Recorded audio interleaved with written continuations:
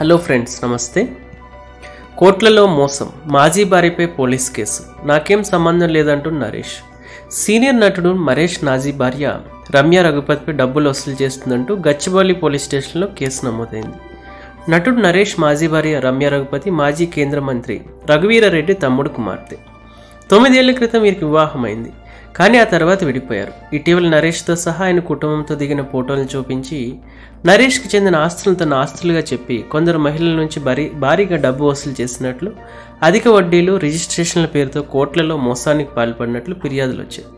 రమ్య కోట్లలో మోసానికి పాల్పడిందని చాలామందిని మోసం చేసిందని గచ్చిబౌలి పోలీస్ స్టేషన్లో కొంతమంది బాధితులు ఫిర్యాదు చేశారు.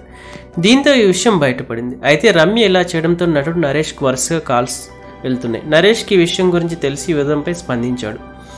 ఈ వివాదంపై నరేష్ మాట్లాడుతూ రమ్య రఘుపతి ఆర్థిక లావాదేవీలకు సంబంధించి వస్తున్న వార్తలపై స్పష్టత ఇచ్చేందుకు మీ ముందుకు వచ్చాను. ఈ వ్యవహారం నాకు ఎలాంటి సంబంధం లేదు. ఇలా జరిగిందన్న విషయం నాకు ఇటీవల తెలిసింది. ఆమె గురించి తెలిసే నేను ఆమెతో విడిపోయాను. ప్రస్తుతం మా ఇద్దరికి ఎలాంటి సంబంధం లేదు. ఇటీవల ఆమె ఆర్థిక లావాదేవీలకు సంబంధించి ఇలాంటి వార్తలు రావడం మూడు నెలల క్రితమే పత్రికల్లో నేను పబ్లిక్ నోటీస్ కూడా ఇచ్చాను రమ్యకు సంబంధించిన ఆర్థికపరమైన ఏ ఇతర అంశాల్లో రమ్యతో నాకు కానీ నా బంధువులు కానీ ఎలాంటి సంబంధం లేదని ఆ నోటీసులో తెలిపా. గత రెండు మూడు రోజులుగా పలువురు బాధితులు పోలీసులను ఆశ్రయిస్తున్నారు.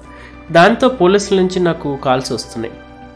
ఈ మోసాల గురించి నాకు తెలియదని కానీ ఈ విషయంలో నాకు చేతనైనంత సాయం చేస్తానని పోలీసులకు చెప్పారు మరోసారి అందరికీ చెబుతున్నాను నాకు నా కుటుంబానికి రమ్య విషయంలో ఆమె చేసే పనుల విషయంలో ఎలాంటి సంబంధం లేదని నరేష్ తెలిపారు. హలో ఫ్రెండ్స్ నమస్తే. కోట్ల